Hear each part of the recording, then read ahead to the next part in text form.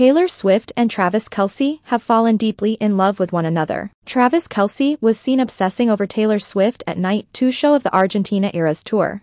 In this video, I will recap all of the moments between them at the show. He was unable to attend the first show because of a charity event, but he wasted no time in flying back to Taylor. He was seen dancing and vibing to all of her songs and smiling ear to ear. He was in the tent with Scott Swift Taylor's father and was seen chatting and having a great time throughout the show.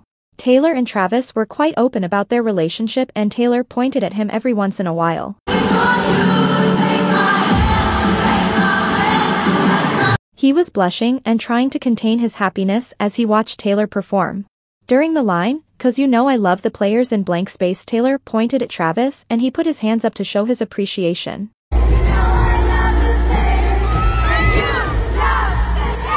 Taylor looked at him with a love-stricken gaze as she sang Lover.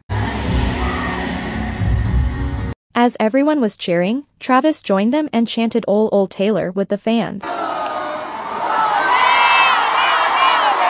Taylor's father proudly recorded him saying that to probably show Taylor later to make her happy. Taylor also recognized it and said that she loved when they chanted that. During the Archer performance Travis participated in the fans project, which was to put up signs that said I will stay as Taylor sang the song. He was seen dancing to Look What You Made Me Do.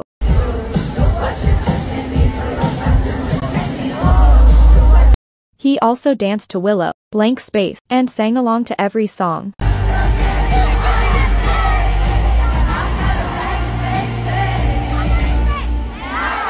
He also waved to fans and gave them heart hands. Taylor sang It Is Over Now and Out of the Woods for fans then she sang Endgame for Travis indicating that she wanted him to be the one for her.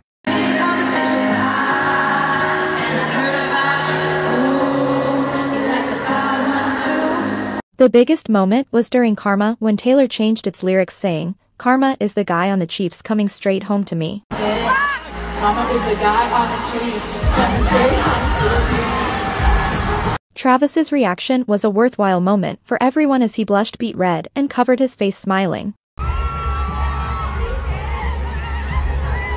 Taylor's dancers also seemed shocked as they witnessed her lyric change. He blew a heartfelt kiss in her direction. He stayed and waited till the last moment to see her as she gave her final bout of fans before leaving with her father to go backstage. He gave the fans heart hands like Taylor as they cheered for him. While he waited for Taylor to come, he hyped up fans to cheer for her. Taylor finally came and waved to fans. As soon as she saw him standing in the corner, she darted and jumped into his arms kissing him deeply.